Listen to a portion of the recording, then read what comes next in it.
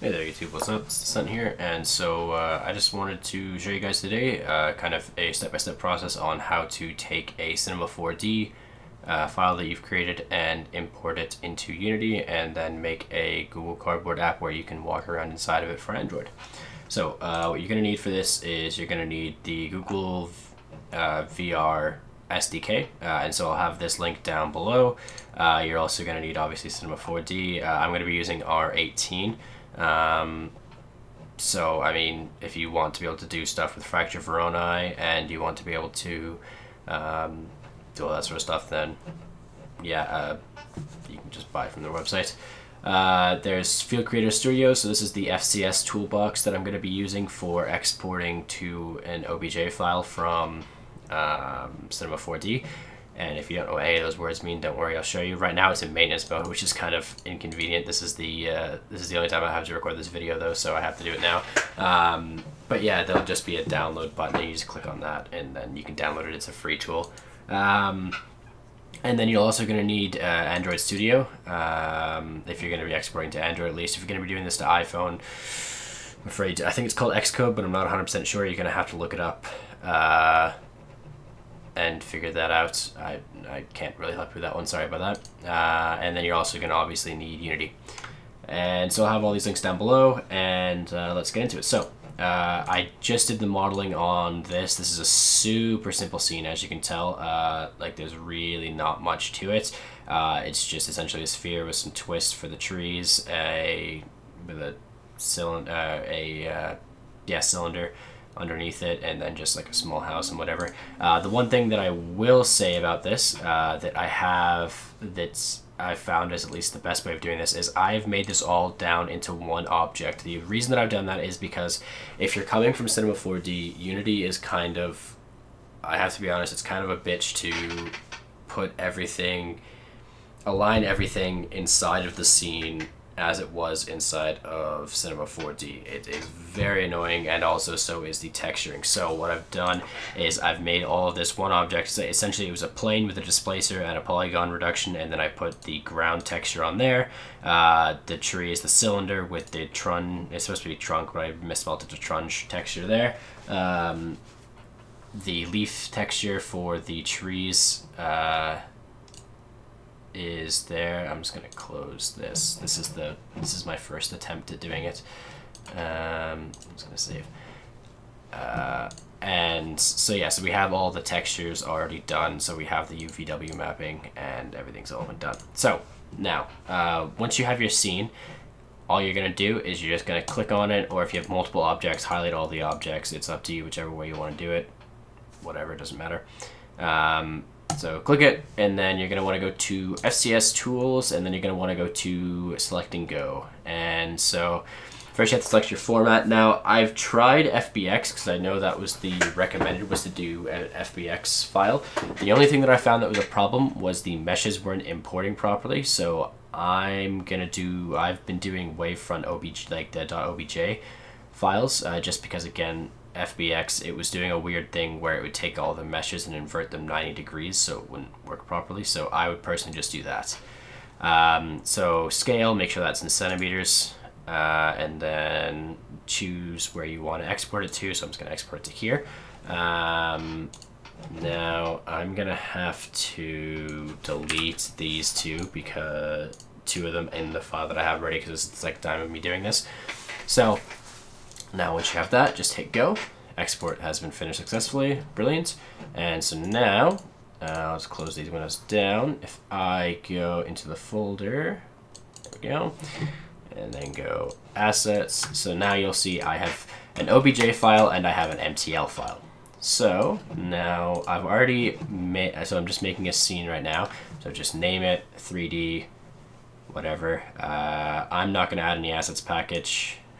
Um, just because I don't really need them. Okay, cool. So, now, when you download the Google VR for Unity SDK, you just come in the file like this. Uh, what I do is I just normally bring the window down and then just drag and drop it into the window, and then that will bring the package in.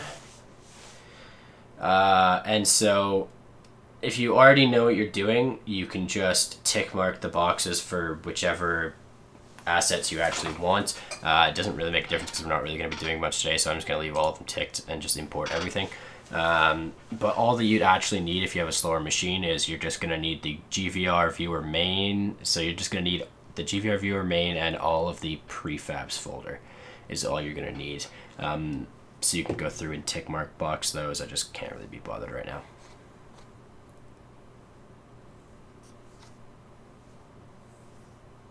And just waiting for that to all download. Okay, cool. So that's all in there now. And so what I'm going to do as well is just going to grab the object that we just made. And I'm going to grab the OBJ file first, drag that in, and then I'm going to drag the MTL file in afterwards. Brilliant, close that. And so now before you import it, there's a couple things I just want to go over. So if you're like me, and so I'll just import this in so you can just see what it looks like right now. So it's going to be huge because I accidentally made it huge, but that's all right. But you'll see it doesn't actually, when you look at it like this, it doesn't actually quite look the same as it did in cinema, right? Like it's, you can tell there's a lot of definition that's been lost in here. And so that's because specifically for this, what I did for this is I did a polygon reduction. So I was doing a low poly style for this game. And so the problem with that is that there's something called Phong shading. And so what Phong shading does is it essentially makes it so that the uh, it's kind of complicated to explain, but essentially, if you're going for something photorealistic, you don't have to worry about this. You can just ignore this part. But if you're going for something like what I'm doing here with the low poly, uh, what you have to do is you have to click on the object here inside of the assets, not up here inside of the assets. And where it says import normals and tangents, you have to change it to calculate and then bring down this number. This is effectively going to be your Phong angle for those of you that know what that means. Uh, so you want to just bring that down to zero, or if you're doing something photorealistic, leave it to the default value of 60 or change it if you know what you're doing. Okay. So by default as well, you'll just see there's just like this weird material on here. Uh, so that's where the MTL file comes in. That's effectively going to be your um, materials file. I don't remember what it actually stands for. Uh, material something. Um, but so what you want is here where it says by base texture name, uh, you want to change this material naming to model name plus models material. Uh, and as long as they are and as long as they are uh, both the same name, you can just hit apply, and now everything's been brought in. And so there you go. And the reason it looks a little bit different is because the lighting that we have right now is uh, is just the default lighting, and it's not not the best, but that's that's okay. So, uh, speaking of, I'm just going to quickly change this down to like a more ready sort of orangey thing because that's just kind of what I like. Um, I just use the default light. You can use other sorts of lights, but it's kind of annoying to get the um, light mapping done properly with this. I don't fully know how to do it. I'm not.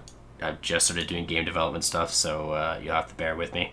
Uh, I normally just, if you're doing low poly stuff, you'll see it gets this weird like lines and things in the shadows. I normally just turn the normal bias all the way down. It doesn't really matter.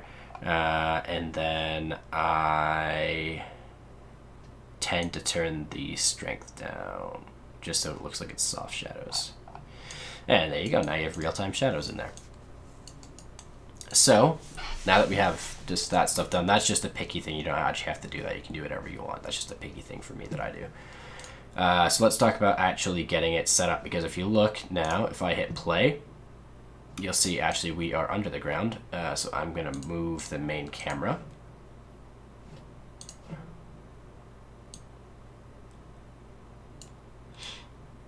And so make sure you put your main camera in the spot, at least for this one. I'm not going to be showing you how to do any movement stuff. So this is just going to be um, essentially being able to look around like this. You can see the camera preview in this bottom corner here. It's effectively going to be able to look 360 degrees around this way. So you want to put it wherever you want to be the center. Effectively, it doesn't really matter which way it starts out pointing. So I'm just going to put it here. Okay, so now open up the Google VR folder and what we need is to go into prefabs and we need GVR viewer main. So we're just going to drop that in and we're going to drop the main camera as a child of the GVR viewer main And so now you'll see if I hit play, we now have the Google VR thing. But you'll notice if I click and try and move, uh, you actually can't look inside of it. So for when you're in this viewport here, you have to hold Alt, and then now you can. And so now you can see you can look around, and everything looks good. Everything is happy. There you go. Um, and so now, now that we've done that, that's a, that's essentially the entire tutorial, really. Um, I'm just gonna save this scene out. Uh, I would recommend doing that periodically, just so that if anything goes wrong with Unity, it's all saved. Um, and so now we need to export it as an app. So as long as you have everything all set up properly with Android Studio and all that stuff, all you're going to want to do is come down to Build Settings. And so you see this little Unity thing. This means that this is the uh, OS that it's currently selected for. So right now we're selected to PC, Mac, and Linux standalone. We don't want that. We want to be on Android. So I'm just going to click that, click Switch Platform.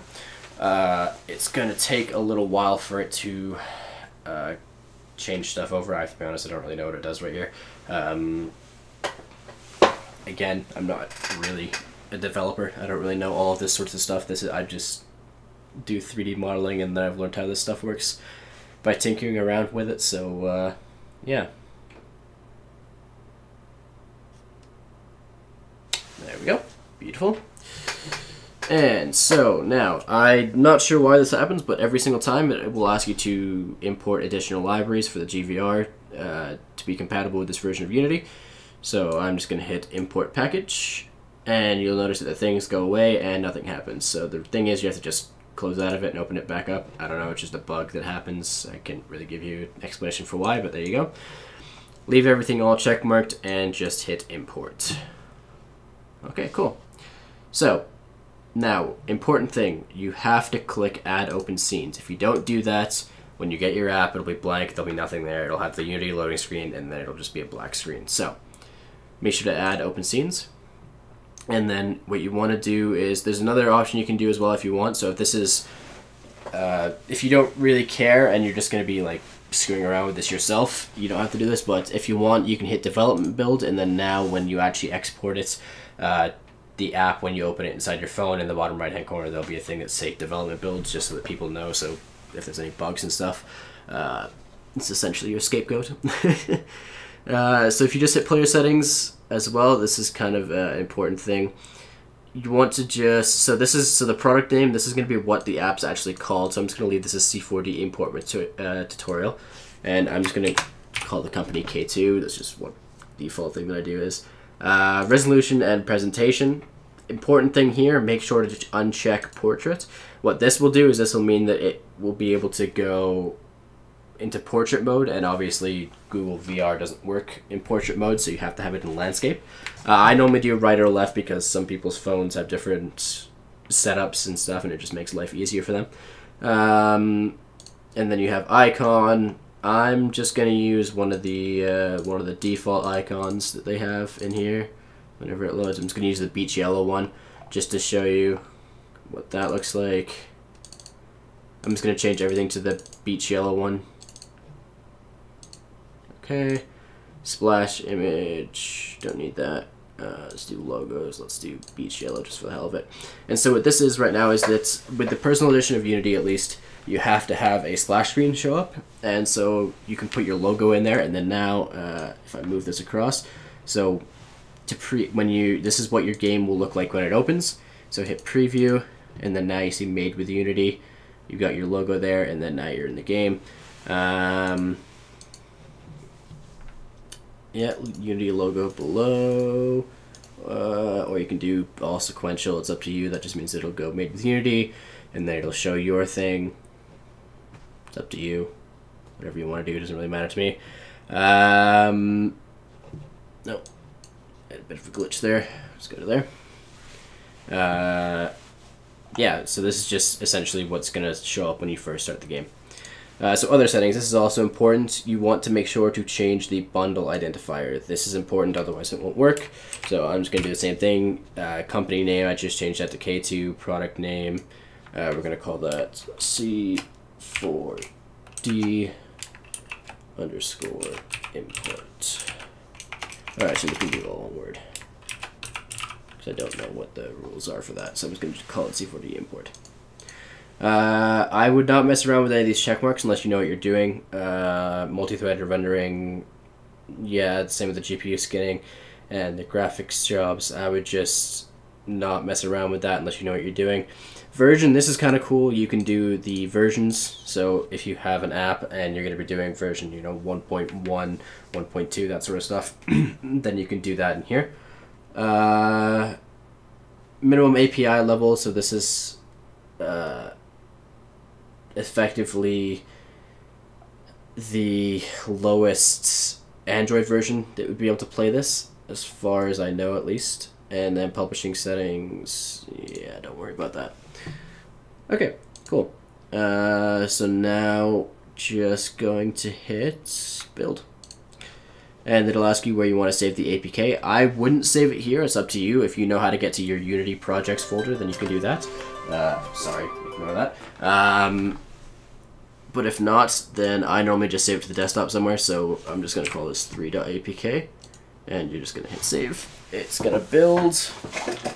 It'll take a little while here. And actually it'll finish.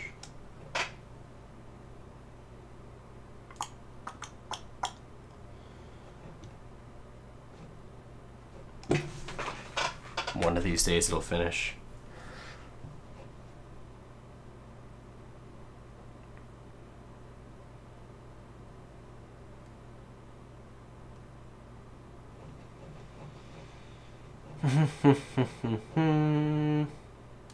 cool.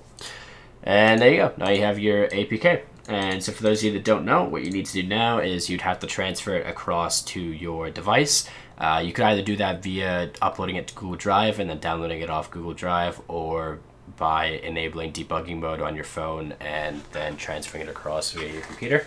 It's entirely up to you, whichever way you want to do it. Um, again, I don't really take any responsibility if anything goes wrong with this, because I, I, can't really answer if anything goes wrong with this. But um, yeah, so what you have to do then is you essentially, once you've downloaded it to wherever you put it on your Android phone, click it. It'll ask you to install. It'll show a picture of your logo, and then you hit open and run, and there you go. And if I can manage to get a screen capture working on my phone, I'll show you that in the next part here. If not, then uh, thank you guys for watching. I hope you guys enjoyed. If you did, be sure to give it a like, uh, and I would really like it for you guys to give me comments on what you think I could have done better with this tutorial, or if there's something else that you want guys want to know how to do. Um, and I will leave all links in the description. I will leave a link to download the Cinema 4D file for this if you want to do this yourself. And yeah, I guess I will hopefully catch you guys next video. Peace.